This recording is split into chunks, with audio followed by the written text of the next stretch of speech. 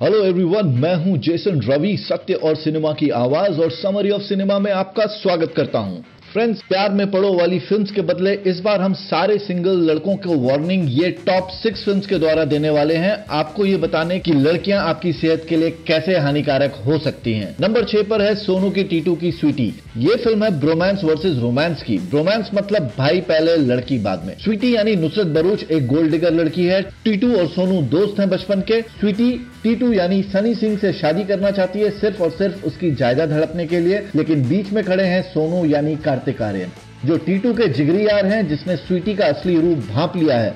और हम देखते हैं कैसे सोनू धरती और आसमान एक करता है स्वीटी से अपने टीटू को बचाने के लिए। शायद आप सबकी लाइफ में सोनू जैसा दोस्त नहीं हो दोस्तों। इसलिए स्वीटी जैसी डायन लड़कियों से बच के रहना, नहीं तो उनके इशारों पे नाचोगे घर वालों से लड़ोगे और शायद कंगाल भी हो सकते हो। दोस्त को चुने या प्यार को, ये धर्म संकट में पड़े टीटू की कहानी आप अमेजोन प्राइम पे देख सकते हो। लव रंजन द्वारा डायरेक्ट की गई ये फ़िल्म एक लाइट हार्टेड कॉमेडी है। हिट गाना तेरा यार हूँ मैं, जिसे रोचक कोहली ने बनाया है, कुमार ने लिखा है और अरिजीत सिंह ने गाया है, भी इसी फ़िल्म में है।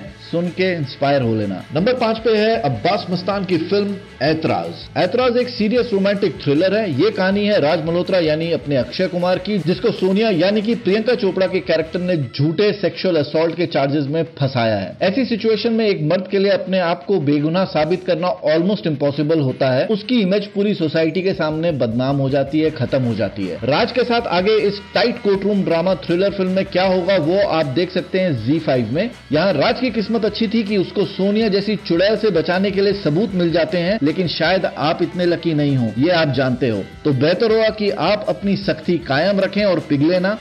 हाँ अपन सख्ती भाई, ऐसे पिघलने वाले लड़की के पीछे मत दौड़िए, जो खुद आए और आपकी शर्तों पर आए, उसी को एंटरटेन कीजिए और प्यार कीजिए। नंबर चार पे है लव रंजन की दूसरी फ़िल्म प्यार का पंचनामा वन ये फ़िल्म है तीन बैचलर्स के बारे में, वो है रजत, यानी कि कार्तिक आर्यन, निशांत, यानी कि देवेंदु शर्मा और विक्रांत, यानी रायो भकीर था। हमारी तरह इन तीनों को भी लगता है कि उनकी लाइफ में प्यार की कमी है। धीरे धीरे तीनों को गर्लफ्रेंड्स मिलने लगती हैं, लेकिन किसी का भी रिलेशनशिप स्मूथली नहीं चलता। एक की गर्लफ्रेंड पास्ट रिलेशनशिप में अटकी हुई है, दूसरे की गर्लफ्रेंड उससे ब्यूटी पार्लर के बिल्स पे करवा रही है और तीसरे की गर्लफ्रेंड वही किटकिट वाला प्रॉब्लम है। कोई भी बंदी शांति साथ नहीं लेकर आई है। ये फ़िल्म में हैप्पी एंडिंग तो होती है, लेकिन जैसे आम बॉलीवुड जहाँ कपल रियूनाइट होते हैं, वैसे वाली एंडिंग नहीं है। असली वाली हैप्पी एंडिंग होती है। क्या होता है, वो आप नेटफ्लिक्स में ये फ़िल्म को देखकर जान सकते हो। तो आते हैं नंबर थ्री पे, जो है फ़िल्म गुंडे। विक्रम यानी कि रणवीर सिंह और बाला यानी अर्जुन कपूर के कैरेक्टर्स 1971 में कैलकाटा आते हैं।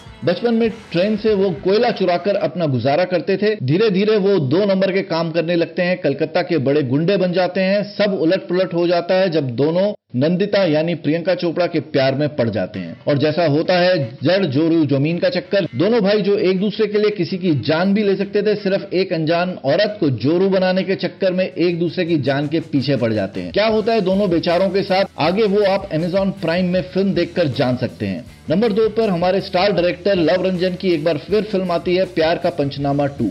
लगता है लव रंजन साहब ने प्यार के नाम पर मर्दों पर हुई जाति को बहुत ध्यान से पढ़ा है और उन्होंने ठान ली है कि किसी और मासूम लड़के की ज़िंदगी अनजाने में खराब ना हो। इसलिए वो अपनी फ़िल्मों के माध्यम से सभी नादान लड़कों को जागरूक करते हैं लड़कियों के पैंतरों से। प्यार का पंचनामा टू एग्जैक्टली प्यार का पंचनामा वन के जैसी है। ऑलमोस्ट पूरी कास्ट रिटेन हुई है। वही तीन बैचलर्स गलती से गलत औरत के साथ प्यार में पड़ जाते हैं और फिर हमेशा की तरह किटकिट झिक झिक और झगड़े शुरू हो जाते हैं। पहले पार्ट की तरह इस पार्ट में भी असली एंडिंग होती है। नेटफ्लिक्स में फ़िल्म देखकर एंजॉय कर सकते हैं। नंबर एक पे फाइनली आती है, एक थी डायन ये एक सुपर फ़िल्म है और इसमें इमरान हाशमी का सामना एक खूबसूरत लड़की से होता है जिसपे वो लट्टू हो जाते हैं जो सच में एक असली की डायन है। फ़िल्म में हम देखते हैं इमरान हाशमी यानी बिजॉय को उसके बचपन में एक डायन played by sultry sexy Konkona Singh Sharma उसकी बहन और पापा का खून करती है और बिजॉय उसकी बालों की चोटी कैंची से काट के उसे मार देता है। मजबूती देख रहे लौटने की।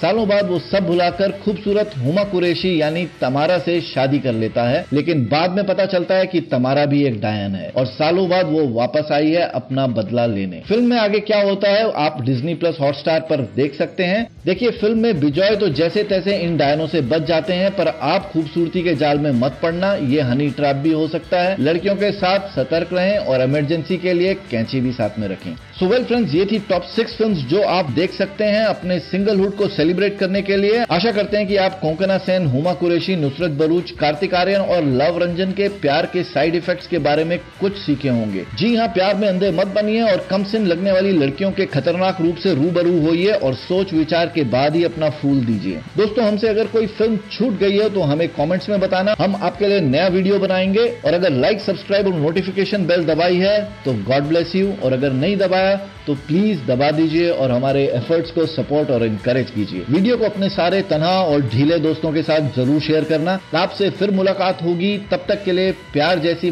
महामारी से सावधान रहें सतर्क रहें और स्वस्थ रहें। जय हिंद।